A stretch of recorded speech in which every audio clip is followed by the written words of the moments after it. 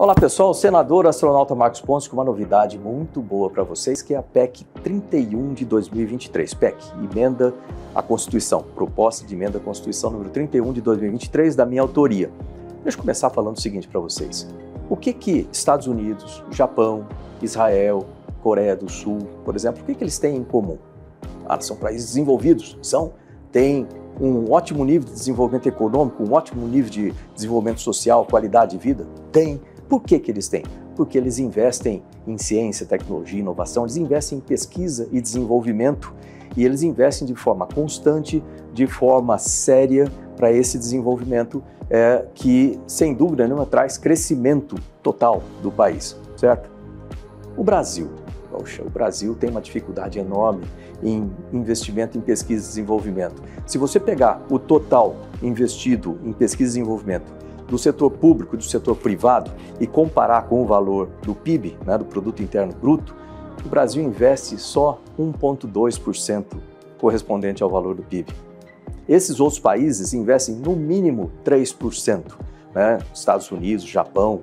Se for lá para Israel e Coreia, investem cerca de 5% do valor correspondente ao valor do PIB. É por isso que eles têm esse nível de desenvolvimento. Eles são bons em agricultura, eles são bons é, em todas as áreas, em defesa, em segurança, em saúde, né? porque eles têm pesquisa e desenvolvimento. E o Brasil está aí, né? se arrastando com valores baixos de investimento já há muito tempo. Então, a PEC 31 de 2023, a chamada PEC da Ciência, que eu apresentei aqui no Senado, o que, que ela faz? Ela traz o compromisso do setor público para criar condições adequadas para que o investimento total do Brasil, setor público mais setor privado, em relação ao valor do PIB, atinja o patamar mínimo de 2,5% em 10 anos, ou seja, um crescimento gradual para chegar lá ao nível dos países da OCDE. A média dos países da OCDE é de 2,71%.